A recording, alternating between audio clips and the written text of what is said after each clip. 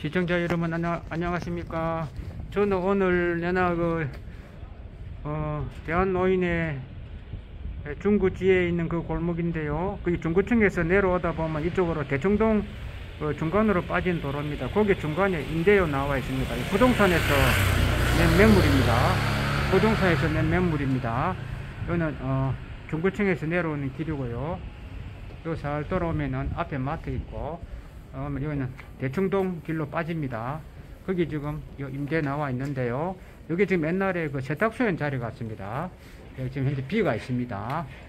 예, 혹시 관심이 계신 분, 요 전화로, 요 전화번호 어죠? 열로 연락하시면 됩니다. 2452-1757로 연락하십시오. 저는 그냥 사진만 찍어서 제공만 합니다. 정보만 제공해 드립니다. 예, 사실 분 바로 연락하시면 됩니다. 앞에 요 마트, 좀 큰 마트도 있습니다. 위치는 괜찮아요. 제가 볼 때. 예, 요 하여튼 특수한 요잘 하셔갖고 요, 요 자리 있습니다. 감사합니다. 이것으로서 영상을 마치겠습니다.